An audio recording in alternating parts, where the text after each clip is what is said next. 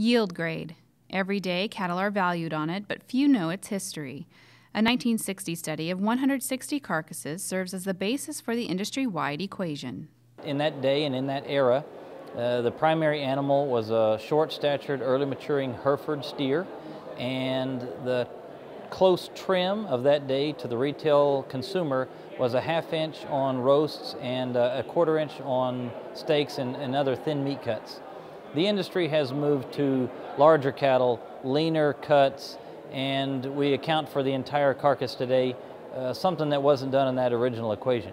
Today's coolers look much different than they did half a century ago. So uh, in those original data, the, the heaviest carcass weighed 900 pounds.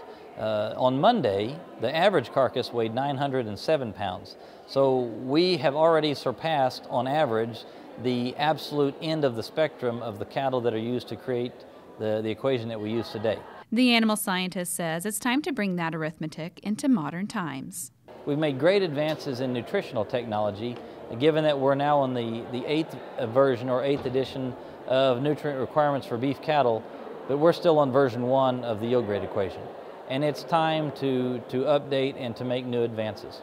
One suggestion make the premiums and discounts linear rather than thresholds. Uh, one of the, one of the the things I think the industry really could look forward to is improving the valuation on an incremental basis, such that uh, today a yield grade 3.9 animal on most all grids receives no premium or discount. It's part of the, uh, the base par value, whereas a yield grade 4.0 might receive a $15 per hundredweight discount. Lawrence recently completed a research review on yield grade and says the bottom line is that cattle have changed and valuation systems need to catch up.